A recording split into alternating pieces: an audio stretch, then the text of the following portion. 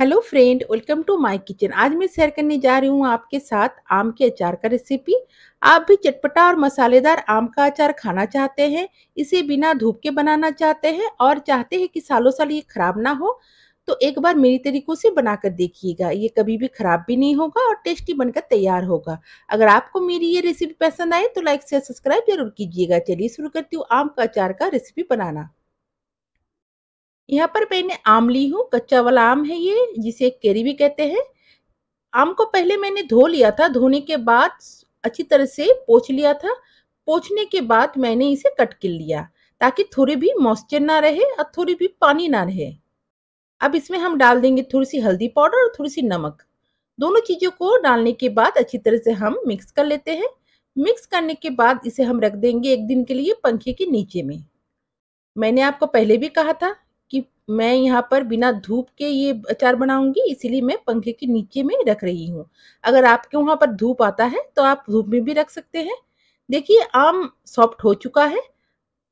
अब आम का अचार का मसाला बना लेते हैं। यहाँ पर मैंने एक पैन बैठा दी हूँ गैस पे। अब पैन जैसे गर्म हो जाए, इसमें हम डालेंगे एक चम्मच साबुत जीरा, एक चम्मच राय डालेंगे। राय सरसों से थोड़ा सा छोटा होता है।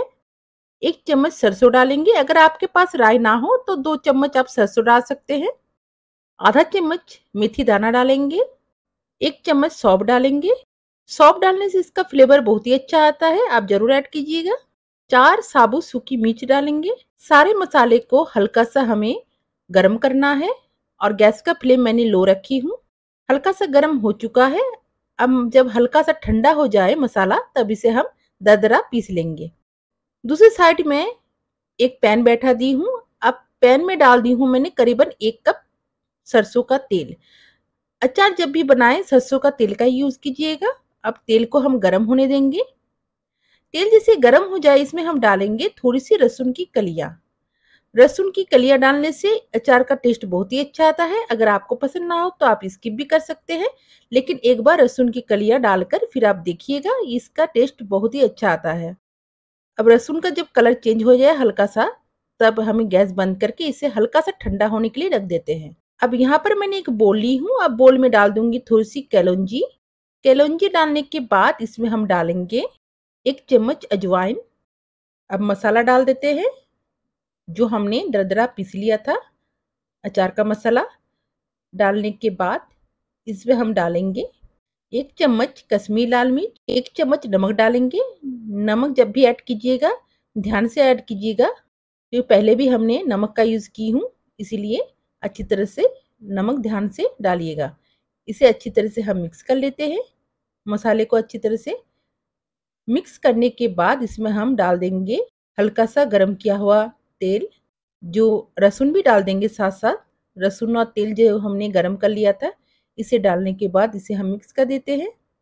अगर लहसुन आपको पसंद ना हो तो टोटल आप स्किप भी कर सकते हैं, लेकिन हल्का सा गर्म करके ही ऑयल को ऐड कीजिएगा। अब आम डाल देते हैं। आम डालने के बाद इसे हम मिक्स कर लेते हैं अच्छी तरह से। मिक्स करने के बाद कवर लगाकर हम साइड में रख देते हैं। अब इसी पैन में हम और एक कप तेल को गर्म होने के लिए रख देते हैं। जब हल्का सा तेल गर्म हो जाए, तब इसे हमें टोटल ठंडा करके हम डालेंगे। जब हमने लहसुन डाला था, तब हल्का सा गरम तेल को डाला था, हल्का सा गरम कर लिया था तेल को, फिर हल्का सा जब तेल ठंडा हो जाएगा, तब उसे हम मैंने ऐड किया था, लेकिन इस बार हम टोटल ठंडा होने के बाद ही तेल ऐड करेंगे। अब यहाँ पर मैंने एक कांच का बोल ली हूँ, अब इसमें हम डाल देंगे अचार को।